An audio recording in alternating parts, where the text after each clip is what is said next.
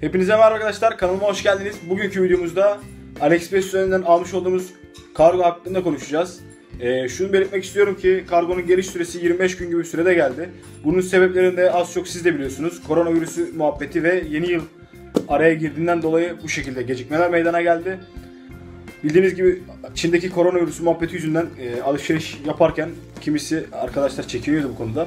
Ben de böyle bir video yapmak gereği duydum. E, AliExpress üzerinden bu siparişi koronavirüs muhabbeti olmadan önce 2 gün önce sipariş vermiştim. E, kargo takibini de gerçekleştirdim.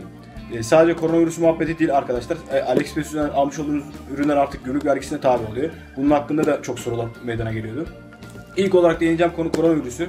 Koronavirüsün arkadaşlar bildiğiniz üzere Çin'de yayılmaya devam ediyor.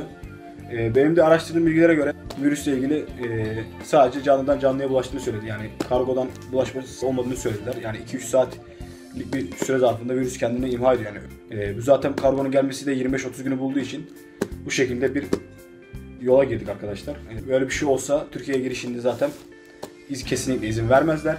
E, gümrük vergisi durumuna gelecek olursak da AliExpress e, 35 euronun altındaki ürünleri direkt ücretsiz kargo şeklinde aldığımız zaman PTT kargo olarak ücretsiz kapımıza kadar geliyordu. Yalnız şöyle bir durum oluştu. PTT kargo artık gümrük gümrüğe gidiyor ürün. Gümrüklüğe gittikten sonra gümrükte bu kutu açılıp bakılıyor.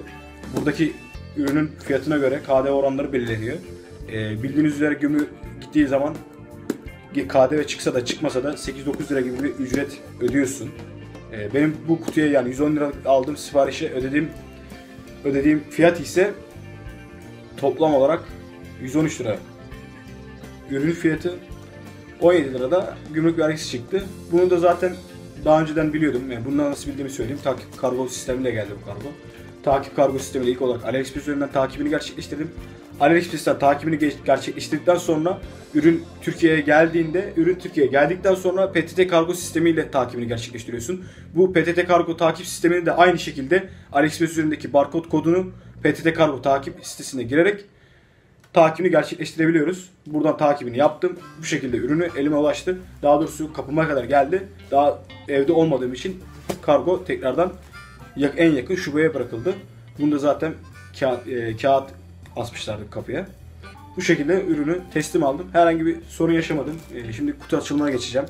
Kutu gördüğünüz gibi herhangi bir problem yok. Renault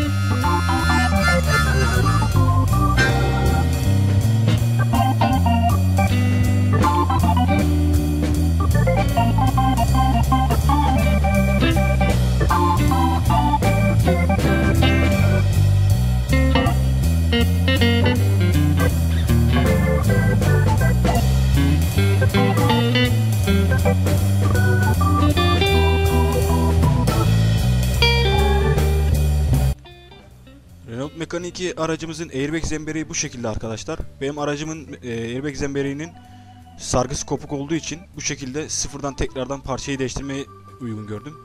Diğer alternatif yol ise airbag kablosunu lehimle yani tekrardan sarmak ama ben bunu taslim etmiyorum. Yani 50-60 lira buna verene kadar 110-120 liraya bu parçayı alıp takmak daha mantıklı geldi. Bunun videosu da ayrı bir şekilde yapılacak arkadaşlar. Kanalımıza destek olmak için abone olmayı ve takip etmeyi unutmayın arkadaşlar. Bir diğer videolarda görüşmek üzere.